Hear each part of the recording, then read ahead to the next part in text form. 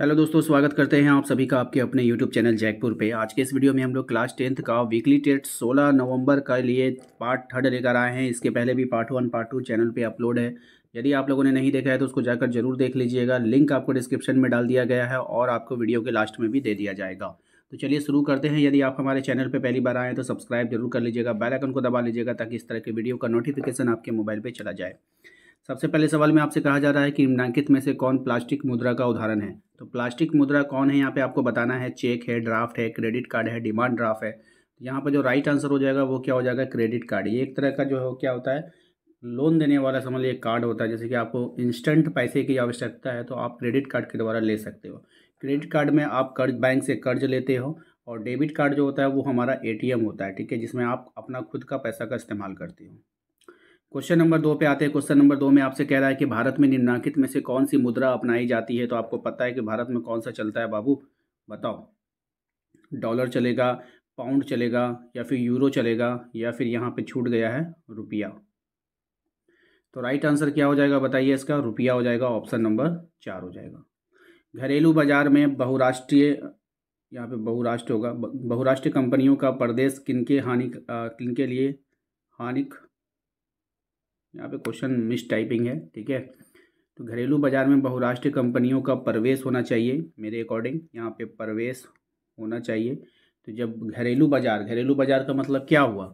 घरेलू बाज़ार का मतलब है जैसे कि हम लोग के आसपास मान के चले कोई मार्केट है, वहाँ से कोई बहु बहुराष्ट्रीय कंपनी जो वहाँ पे इन कर गई, ठीक है? तो किसके लिए हानिकारक वो हो सकती है? बड़े पैमाने बड़े पैमाने पर निर्माता, जो बड़े बड़े निर्माता होते हैं, उनके लिए हानिकारक है। सभी छोटे पैमाने उत्पादक पर या पटिया घरेलू उत्पादक पर। तो इसका जो राइट आंसर होगा, वो हो जाएगा सभी छोटे पैमाने पे उत्पादक पे।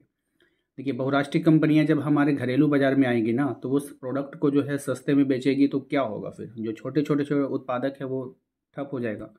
होगा ना? क्वेश्चन नंबर चार पे आते हैं। क्वेश्चन नंबर चार में आपसे कह रहा है कि वैश्विकरण अब किस प्रकार के देशों के पक्ष में अधिक रहा है? विकासशील देश, विकसित, गरीब या फिर इनमें से कोई नहीं?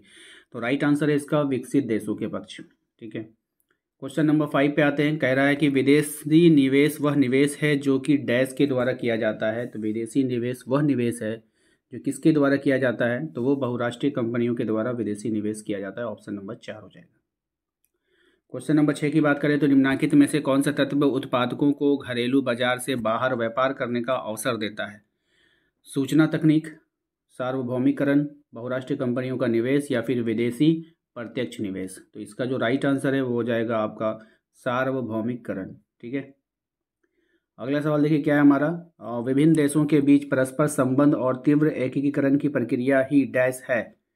क्या है? निजीकरण है, उदारीकरण है, वैश्वीकरण है या फिर इनमें से कोई नहीं? तो राइट आंसर है, यहाँ पे हो जाएगा वैश्वीकरण ऑप्शन नंबर तीन। क्वेश्चन नंबर चार पे आइए। सॉरी क्वेश्चन नंबर आठ पे आइए। कह रहा है कि विश्व व्यापार संगठन का गठन करने के लिए निम्नलिखित में से कौन से प्रमुख उद्देश्य था?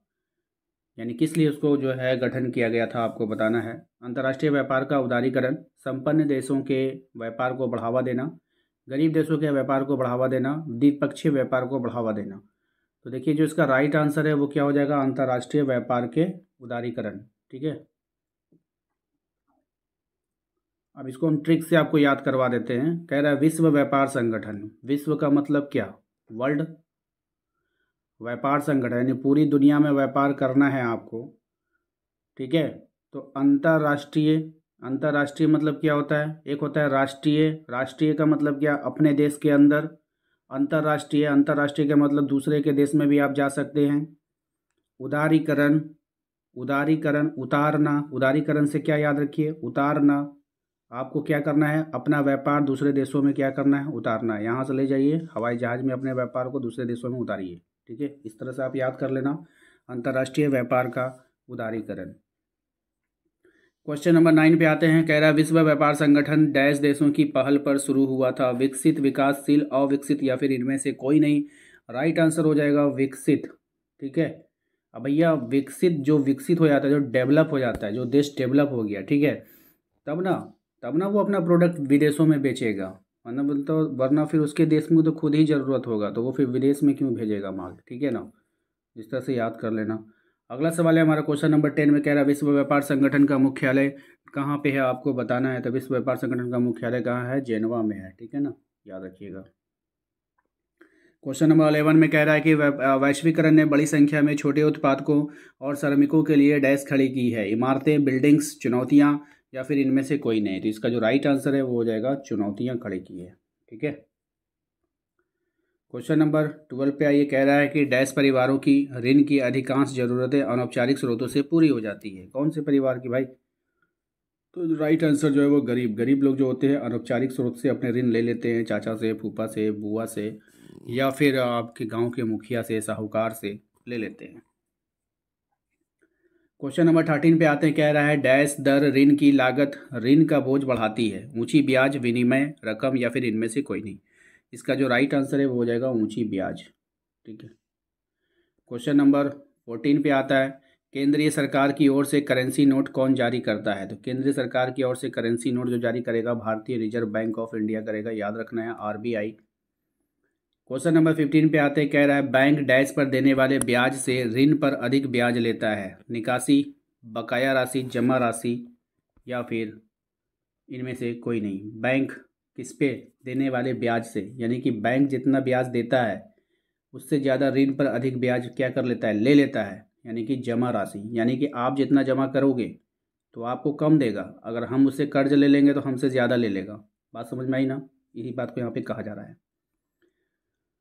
समझ में आ गया सभी को? तो अब आप लोग जो है एसबीआई का फुल फॉर्म क्या होता है?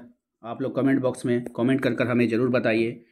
उम्मीद करते हैं आप लोगों को आज का ये वीडियो पसंद आया होगा। वीडियो पसंद आया तो वीडियो को लाइक करके चैनल को सब्सक्राइब करके बेल आइकन को दबा लीजिएगा ताकि आने वाली हर एक वीडियो का नोटिफिकेशन आपके मोबाइल पे चला जाए। मिलते हैं अगले वीडियो में। Thank you